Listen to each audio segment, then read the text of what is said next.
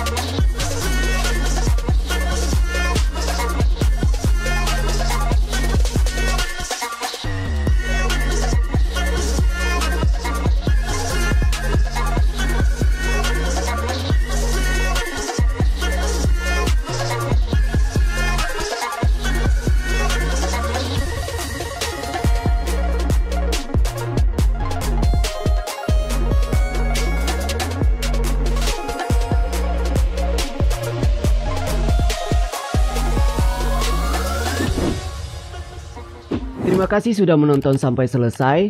Silahkan like dan tinggalkan komentar. Dan jangan lupa untuk tekan tombol subscribe.